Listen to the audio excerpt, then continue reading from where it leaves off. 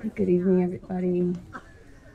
Um, thank you so much for the invitation to be here. It really is an honor to to share a palabra, to share word with the encampments in solidarity for Palestine, and it, it's it's been pretty incredible to give teach-ins. I was at USC a couple of times, and the conversations there have been pretty incredible because a lot of what this talk is going to be about from Chiapas to Palestine has a lot to do with building the world together in a lot of ways the way these encampments have been built together.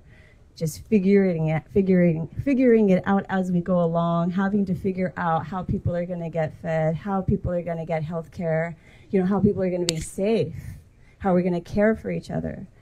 And so what i want to share is a history of this moment as I've witnessed it and as I've been a part of it, as someone who was a student uh, when I first learned about Palestine and about the Zapatistas, who uh, is the movement that we're going to talk about today.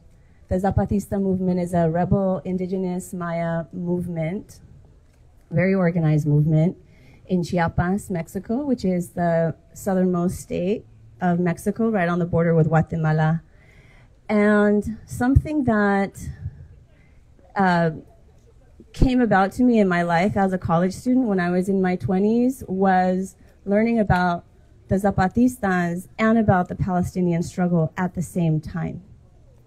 And this was because I was studying globalization, but not the globalization like from business school, which I had studied earlier.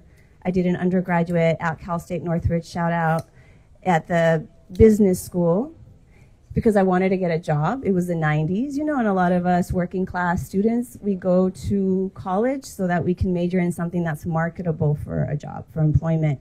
And in the 90s, the internet was becoming more widespread and I think maybe my addiction to video games made me good at computers, but I was good at computers. And so I was able then to major in information systems, learn to code, make websites, like at a time when almost no one knew how to do that. And so it was a time where in our business classes, the answer for everything was the word globalization. So like if, you know, your class, your professor asked you, uh, how are you going to make some money? You know, how are you going to increase profits? We would say globalization. And that was like, oh, okay. And globalization, what that was shorthand for was we're going to move all of the labor to China or to Mexico or to other countries where labor standards are really low as are environmental standards. And that was happening in the 90s a lot. A lot of the things that we have today that are made in China, um, it's, it's everywhere, but it wasn't so everywhere back then. It was starting. And that was also something that, you know, as our professors were talking about globalization, and about how globalization was the answer for everything. And by that, of course, they meant capitalist globalization. They were talking in a moment where the Soviet Union had just fallen. And that meant supposedly the triumph of capitalism all over the world now that there wasn't a competitor for, for state communism, for communism, which was like the only competitor that we were allowed to learn about when I was growing up in the 80s, and they seemed really bad. Like we learned communism was really bad, but we didn't really know what it was, just that it was bad. And so then, as a grad student, also at Cal State Northridge, I became a, a master's student in geography because I took an urban geography class just to find out why LA was LA, like why is Compton Compton, why is Santa Monica Santa Monica. And I, it was the first time, probably among the, in my life, that I learned critical thinking. I hadn't been taught that in school. I went to working class public schools, daughter of undocumented migrants, and the schools that we go to are schools that discipline us into being workers or being incarcerated. And the Cal States, unlike the UCs, the Cal States are universities for the working class, and the UCs are universities for the managerial class. There's like a distinction of where knowledge is produced, and it happens at the UCs, supposedly, and not at the Cal States or at the community colleges, much less. And so I was fascinated by geography and trying to learn about the history of Los Angeles' layout because I learned history. I learned that there was struggles, that there was like redlining, like there was actual federal programs set up to create inequality. Uh, and I loved it so much. I was good at computers. The professor's like, you know, there's this thing called GIS. You like, you want to save the world. It sounds like, you know, you're, you're political and you're good at computers. Maybe you want to do a master's in geography. And I did, and I didn't expect to learn about Palestine or the Zapatistas there, but that's what happened because in geography, even though geography as a discipline, like so many disciplines, like anthropology, are very colonial in their histories, there are little radical pockets. And in geography, the radical pockets at the time, and this was the now the 2000s, were uh, Marxism and feminism and anarchism. And although it, it's a small number of geographers who are the radical critical geographers, they get cited by a bunch of different other scholars and other disciplines. And so then it gives them a lot of authority because that's how academia works in terms of like knowledge production, like who cites you, who's building off of your work. And they build off of the Marxists and the feminists and the anarchist geographers a lot. And so we had to read this critical geography when we're talking about globalization. And so it was fall 2003 when I started the master's program in geography. And in one of my classes, is the first time I ever saw the name Edward Said. He had just transitioned, he had just passed away. It was September 2003. And that was the first time I heard of him. Uh, and he's, his work is pretty canonical in geography because he talks about the geographic imagination of Europe vis-a-vis the Orient. You know, it's, it's a place of, uh, that's exotic and seductive and also violent at the same time, and that these tropes that the, you know, the European colonial mind has had about the Orient leads it to construct it in that way in its mind and it relates. So he's very canonical for this idea of geographic imaginations. And it was also in these geography classes, in particular the one on globalization, where we started to learn about the protests against capitalist globalization. And these protests against capitalist globalization were led uh, by the Zapatistas and then spread in Seattle against the World Trade Organization in 1999 and then against all of these free trade agreements that were just going to they were going to globalize capital and then curb migration and create more of Mother Earth into private property. And that was a Zapatista uprising in 1994. It was an uprising against the implementation of the North American Free Trade Agreement because it forced the Mexican government to change its constitution to no longer protect the common lands, the ejido.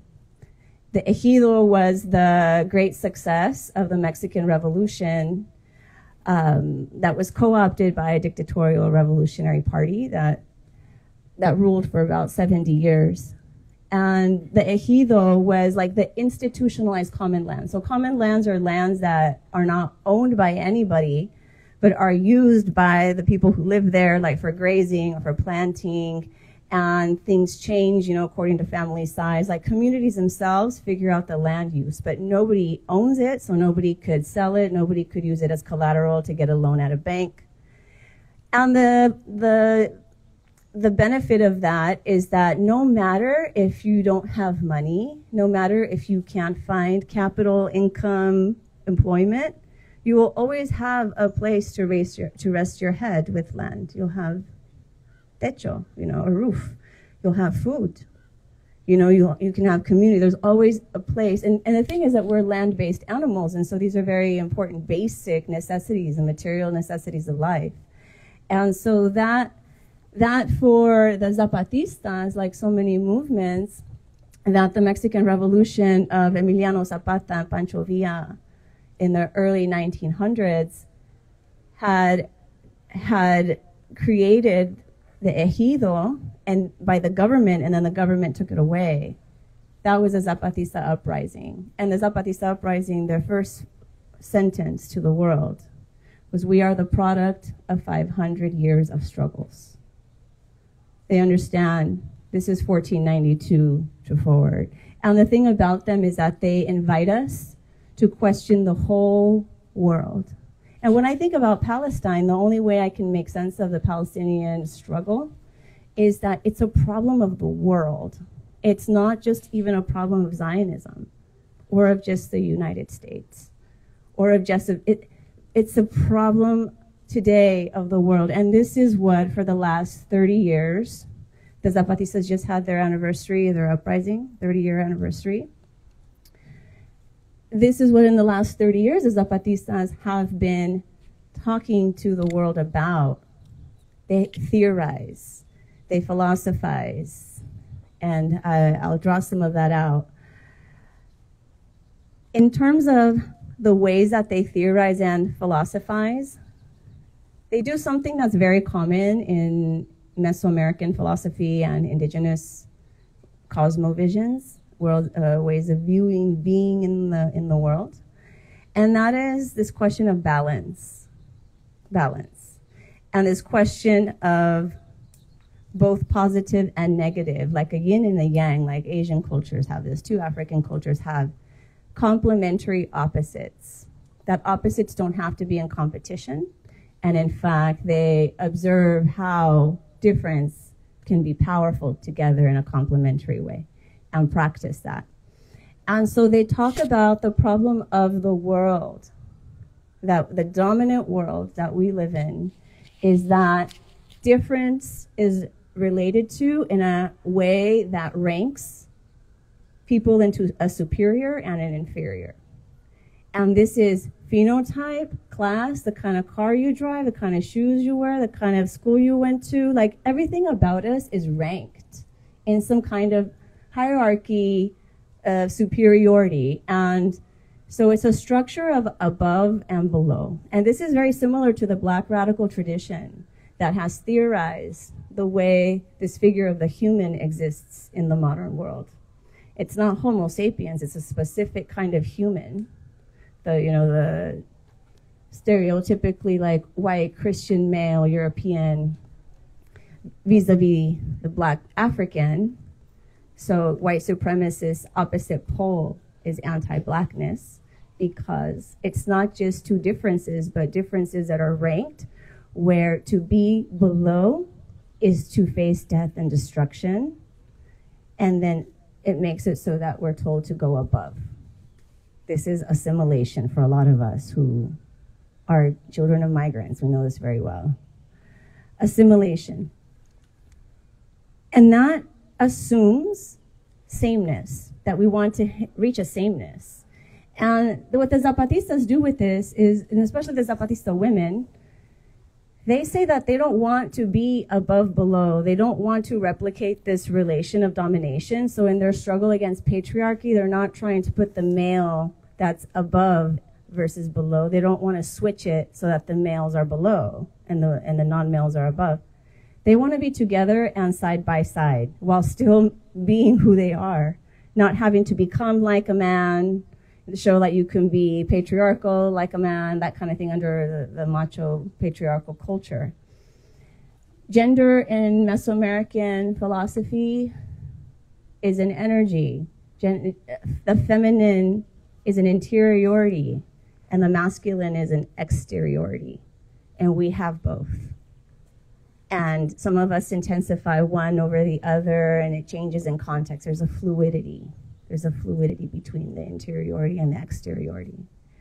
It, it's not these binary gender roles that are imposed. And in fact, like the binary of either or is troubled by indigenous philosophy because of this fluidity and because it seeks complementarity. So the Zapatistas critique the above and the below.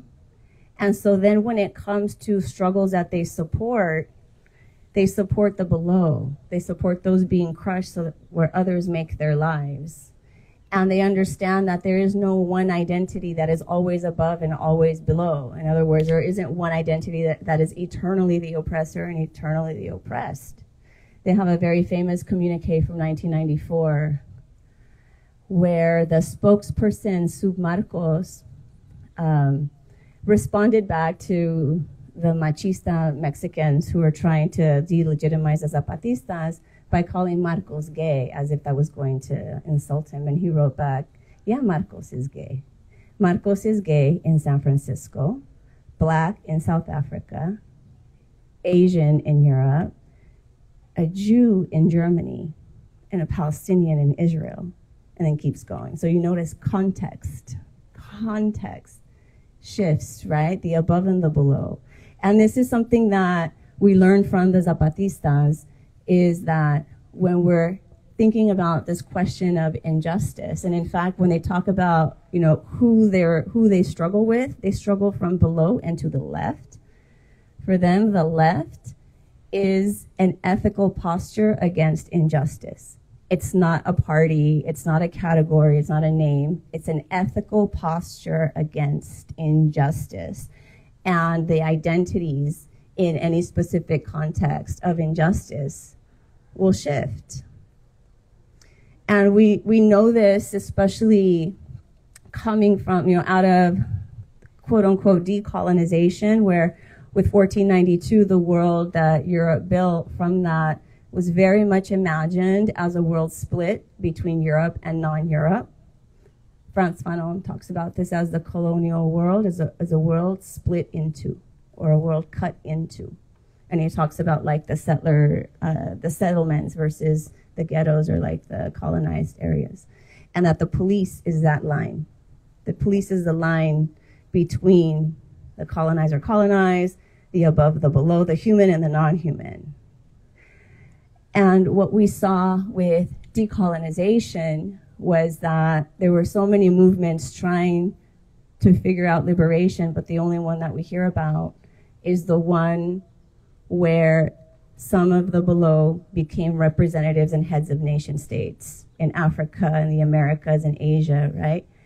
And and continue that order of above versus below. And notice that this is a power flow. Above and below, the above makes their lives at the expense of the below, whether crushing, extracting, eliminating. Right there is uh, there there is in, in any case an extractive type of power relationship, an energy suck and the problem that we're living in since so-called decolonization is that we're being taught that the way we get free is by going above, that we need some of us to go above. Some of the wretched, like the talented tenth is usually how it's called. Um, but what happens with that is if we go above, we need a below. And that is an unethical position because making one's life at the expense of another's life is not an ethical position. And this is a lot about ethics. That's why like, when the Zapatistas talk about struggle, they talk about worlds. Like, what is your metaphysics? What is your, how do you understand the cosmos? How do you understand the world? Being, what is, you know, what is, you know, uh, what do you value? Truth, you know, or, or, or those kinds of big ethical political questions. And so when we have an above and below structure and we, we see then that that is a structure for so many of the relationships that hurt us, that harm us, like patriarchy, male above, non-male below. Citizenship, citizen above, non-citizen below. And this one, this one actually shows the dangers of even having a standard for equality. Citizenship is a standard for equality. When there is a standard for equality introduced, sorry, when there's a standard for equality introduced, inequality is introduced at the same time. The Zapatista women say we are equal because we're different, meaning that they begin with the assumption that there's no standard, we're already equal. And difference, difference, their, their worldview is a collective a collective but not of sameness, like with the Soviet Union, like when people think about communism, they think about, the, they think about the Soviet Union as everybody being the same, everybody getting the same redistribution. You have to live the same way, be the same way, which then for many makes capitalism more attractive because you can be an individual, right? There's that, there's that, but then there's like no collectivity. It's like two extremes. they talk about the collective and the collective itself because it values difference it makes it so that you can be your most unique self not just an individual that's isolated from community but like your actual self who you are. Be yourself. So much of the struggle is about what kind of people you know we want to be. And so when we think about this then the above and below there's a world where power can flow above and below and a world where power can flow side by side. And, and just to make that a little bit more concrete when we look at plants when we look at society's relationships with food growing i'm from oxnard and if maybe you've driven through you've seen the fields, right? All the agricultural fields. And the fields are all perfect rows and they all have one crop. They're monocrops. And that crop has to look the same, be the same size to be efficient in cutting, you know, and, and going through machines. And carrots have to be the same size so that schools can accept them so that they can be cut through their machines. So like it's about creating sameness in the food, in the way that food is grown, and also competing. That's why there's all this herbicide and pesticide. Every other life around that plant is understood as a competitor. And so they have to be killed. They have to be sited. In distinction to this type of food growing is the milpa, the three sisters, the Native American way of growing corn, beans, and squash together. Three very, very different plants. Talk about difference. This is an example of we're powerful because of our difference, not in spite of our difference, and I'll illustrate. The milpa with the maíz, with the corn, the stalk is very, very long. That's like the centerpiece of a lot of, well, the Maya. The Maya are people of the maíz. A lot of native people understand that as a symbiotic being. To plant corn, corn, maíz, takes a lot of nutrition from the soil. Okay, so then you, the milpa also has beans. And beans need a trellis for support, and the tall cornstalk supports the beans. And what does the bean do? The bean's superpower is to get from the air, magically, nitrogen and fixes it in the soil. So the nutrition that the corn extracts, the beans help put back in. They support each other. And then there's the squash. The squash is a low-lying, crawling plant with really big leaves that cover the soil to protect the soil. So the corn is known as the leader, the beans are known as the giver, and the squash as the protector. Everybody has their role, kind of like this camp, right? Kind of like these struggles. Everybody's got their role. That's an example of cooperation and difference being a power, not a weakness that is closer to the worldview of struggles like the Zapatistas and many other Native American traditions and struggles today.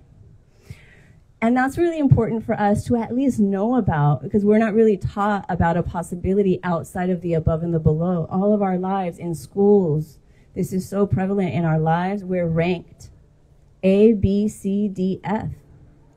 We're ranked, there's a standard. It's, you know, the, the top student and not everybody learns the same. You know, by the in, in, in elementary school, uh, I understand now, like the th- that we had very different learning uh, ways of learning, and that schools needed to just go to the lowest common denominator and cater to one that was more efficient. I mean, teachers are so overwhelmed too. It's like a systemic problem. And so a lot of people don't get valued for being intelligent even though we are all intelligent. We're all equally intelligent, just we have very different skills and different knowledges and different gifts. You know, it's a way of understanding gifts. So it's it's a worldview that's important to know about to at least make the dominant world look strange. Just strange. You know, I have my ideas about it, but at least if we can make it strange and not just normal. And the thing is, is that for a lot of people, this might just that this might be human nature. You know, a lot of people say it's it's a dog eat dog world out there. You know, you're either at the table or you're on the menu. This goes around in politics a lot. You're either at the table or you're on the menu. It's this binary of eat or be eaten, conquer or be conquered. And when, when we become threatened, I mean, these are existential questions of survival. This is like the logic of empire, the last 500 years all over th- these lands and on the globe that movements have been trying to fight off with these other worlds, with these other circulations of power, these other cosmovisions. The Zapatistas call the struggle a world where many worlds fit. Not just a world where everybody can live, a world that respects difference, a, a world where many worlds fit. So I, I usually ask people rather than like their ideology or their religion or I ask them, how can we share the world together with our difference? Right? How can we share the world together with our difference? And that requires that we all step up as thinkers, which we are. Philosophers, all of us are daily philosophers. Like, we don't always have time to think of ourselves that way. But critical thought, critical thought, the way I define that term, critical thought is about questioning assumptions. It's not about I don't like this or I don't like that. It's about the assumptions. The assumptions of one of the great assumptions of the dominant world is eat or be eaten. Is you're above or you're below. And that's it. It's like a closed possibility. And maybe a lot of people haven't, maybe they believe that because they haven't seen anything else, they haven't felt anything else. That's why these movements are so important that do this. Because, you can witness it and, and more importantly, you can feel it. I talk about like when I go to Zapatista territory, it feels different. And I kind of like provoke people. I say, you know, there's no white people that go to Zapatista territory. And they're like, yeah, there are. I see pictures all the time. I'm like, oh yeah, they're just white adjective though. They're not white, I'm the boss.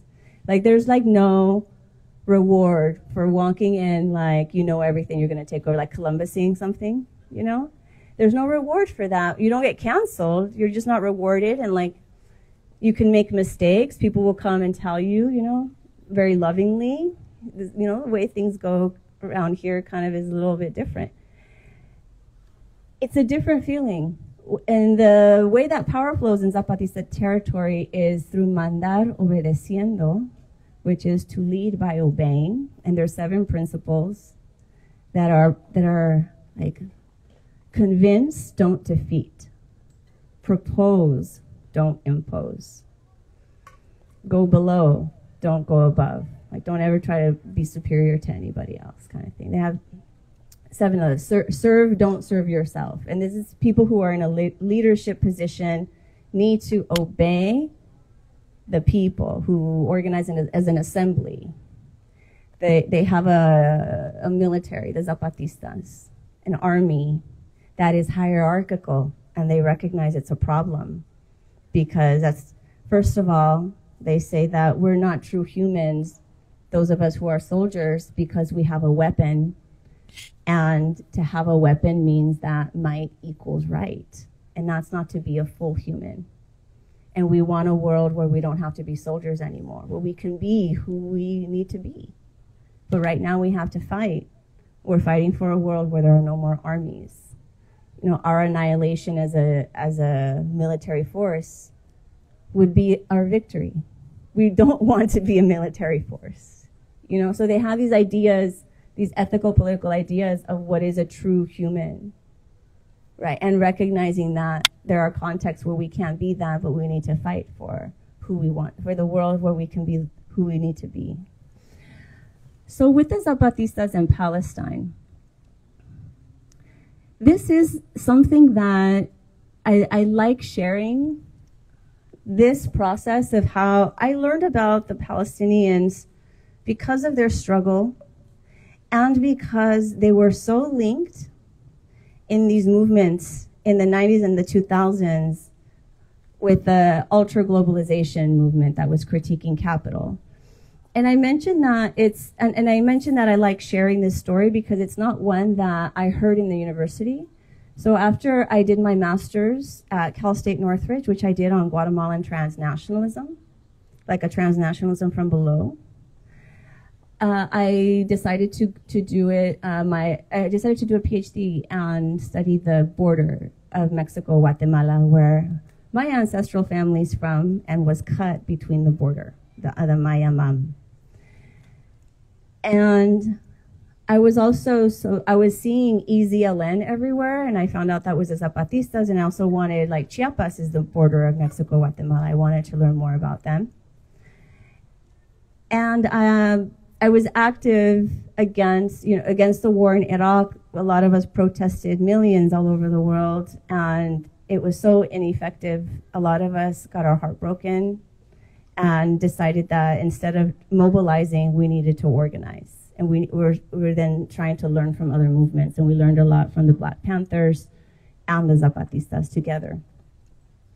And I also was learning about, you know, free Palestine, and I was like, wow, because like to me that was something that I really needed to figure out on my own, because I had learned about Anna Frank when I was nine, and I that's when I learned about the Holocaust, and I was so traumatized and I learned then about Israel as like everything is fine now, Israel exists. And I was like, oh, okay, you know, that's good.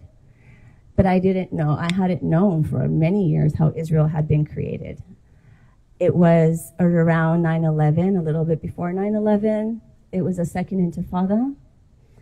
I was watching the news and they were like, it was like, I think maybe CNN or one of those corporate media outlets where they had like people arguing and there was a, a woman uh, arguing in support of the Palestinians, and she managed to say, but the Palestinians are suffering.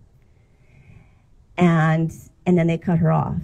And then that kind of made me be like, whoa, I thought that they were bad guys. You know, I thought they hated us, all that stuff from the news. And then after 9 11, after 9-11 a lot of us took a foreign policy course like all the university foreign policy courses were packed right after 9-11 and you know that's where i learned about you know I, I, to be critical of the state i hadn't really thought about it before that you know our professor said that the that there's no such thing as friends in politics in international uh, state politics there's only allies states exist only to preserve themselves as states. They're not there for the people. That's secondary. Primarily, they're there to preserve themselves as states. And I started then also, wiki, I, I used Wikipedia to, to try to figure out what's going on in Palestine. And it was a time when Wikipedia had just come out and there had already been a, a debate that had been settled because Encyclopedia Britannica was getting pissed off at this free encyclopedia that people could, you know, it was trying to delegitimize it by saying that it has so many errors. And then there was a study that found that Britannica and Wikipedia have the same amount of errors. And then, like, no one talks about Britannica no more. You know, and so Wikipedia, like, there wasn't social media. This was like mid 2000s or early 2000s, mid 2000s. And I, I learned there how Israel had been created and I thought the whole world was lying to me. It, it was really devastating. And I didn't know who to trust. I started to read a lot of things on the internet and was so confused. And it was a moment that forced me to figure out what my ethical, Uh, what my political ethics was going to be, what my own values was going to be.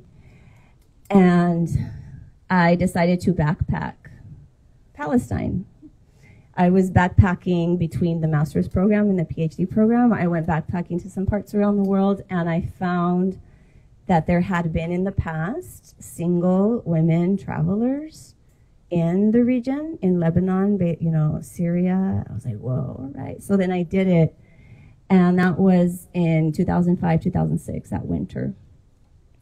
And I just was there in Palestine for like three days in Jerusalem and then Bethlehem I had been studying photography and had learned through my photography class about the, the siege on the Church of the Nativity. There's a church in Bethlehem where they say Jesus of Nazareth was born. There's like a little star in a cave.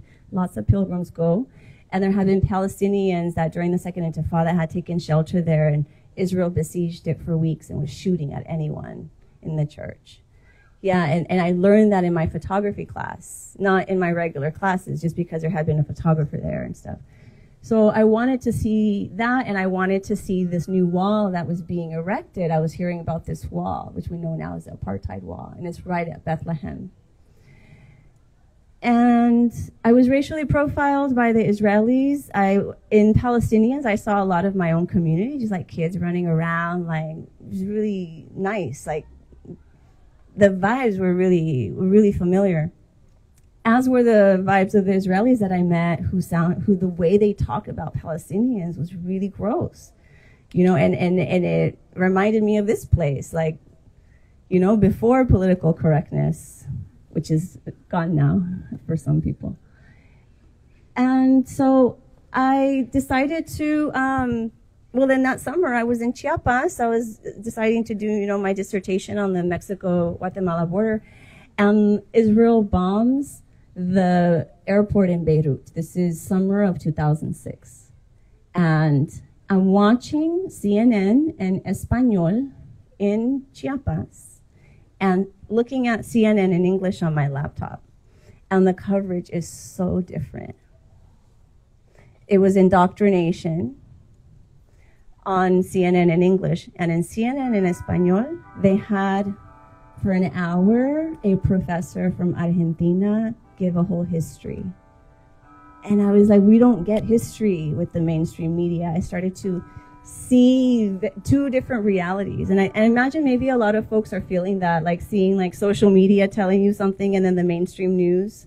Like that was my feeling back then. And it, and it's, it's a serious mind fuck.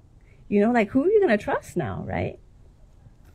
So I couldn't stop thinking about Palestine after that. I just felt the whole world had lied to me. And eventually I ended up changing my entire dissertation research to Palestine so I could like just go and learn everything I could. And I did a, a dissertation on the borders of Palestine on the map that we always use because I know like borders, and I can talk more about that. But mostly I bring it up uh, because I, I noticed something important there that I'd like to share. And one is that I had moved from Latin American studies to Middle East studies and noticed that they don't talk to each other. Latin American studies was talking a lot about neoliberalism and anti-capitalism, and Middle East studies was talking about Islam and the hijab and didn't talk about capitalism. And I also then noticed that the way that Palestine was being talked about was as if it was just something between Jews and Palestinians that started in 1948. You know, and eventually through years of trying to also like tie in like why I cared so much, like why, like what does this history have to do with me? Uh, all of that ended up making me go back to 1492. 1492 and not just October 12th, January 2nd. January 2nd, 1492 was in the Iberian Peninsula, that same Queen Isabella that would, you know, underwrite Columbus's voyage. In that same Iberian Peninsula, the last stronghold of the Muslim world had surrendered, Granada. The Alhambra, there's a castle named Alhambra that Alhambra, the city is named after over here. And it was like a huge victory for the Catholic monarchs because it was the ethnic cleansing of the Iberian Peninsula, immediately ethnic cleansing of Jews and, and of Islam. So whereas Jews and Muslims and Christians were living together, after that, the Iberian Peninsula uh, started to force Jews to leave or to convert, and then was suspicious of the ones who converted and had the Spanish Inquisition and tortured confessions out of them. And there's a torture museum still in Granada that shows the ways that they did that. And Columbus was there in Granada waiting for it to surrender. And after it surrendered, he was able to talk to Queen Isabella to tell her about his plan to go west. And an enormous reason why they wanted to go west was to get Jerusalem next after Granada. And this isn't something we're taught a lot of the time. We're taught that he was just greedy and wanted money, but he was uh, very apocalyptic, like Isabella. He believed that the world was going to end in 155 years and needed to go west to then hook up with the empires in the west and then, you know, crush the Islamic empires. Uh, and so when I was doing my research on Palestine's borders, that iconic shape that we know, that iconic shape was created by evangelical Christians in the 19th century from the United States and from Great Britain. Christian Zionism is far bigger than Jewish Zionism, even today. Even today. And we saw, like in the congressional hearings uh, against um, the faculty and students at Columbia that one of the Congress members was even saying that, you know, people think that Washington, D.C. is the center of the universe, but I think Jerusalem is the center of the universe. If you look at medieval European maps of the world, Jerusalem is in the center. And then there's the three continents Africa, Asia, Europe. And even, like, it's still, even though the modern world likes to think of itself as secular, like the West likes to think of itself as secular, it still understands that Jerusalem is a part of its creation story. And what a lot of uh, the apocalyptic evangelicals who read the Bible literally rather than allegorically, metaphorically, they believe in this in the rapture that Jews have to go back to Jerusalem, build the third temple, and then Jesus can come back. Every time I tell this story, I feel like people don't believe me because it really sounds out of this world. But it's it's so it, it's very prevalent in um, in the U.S. culture, and in fact, George W. Bush himself was one of these evangelical Christians that even called the wars in Afghanistan and Iraq a, new, a crusade, and they had to tell him, "Don't use that word." Well, they believe that the that Jews need to go back to Jerusalem, genocide everybody, the Palestinians, because that's what happened in the book of Joshua, as they say. And and then Jesus will come back. Everybody's going to have to become Christian to be saved, and if not, they're going to die in a hellfire, including Jews. So it's a very anti-Semitic um, prophecy. So, like a, a lot of Zionism needs anti-Semitism Zionism is not a solution for and against anti Semitism. It needs it because that's the point of its entire existence. So, like, what we're seeing with the response of October 7 is, is this, this, this, this, this project called Israel, and Israel is a state, which means that it's an instrument of force, it's a monopoly of violence. Renew another day. Love you so much. I don't know how to.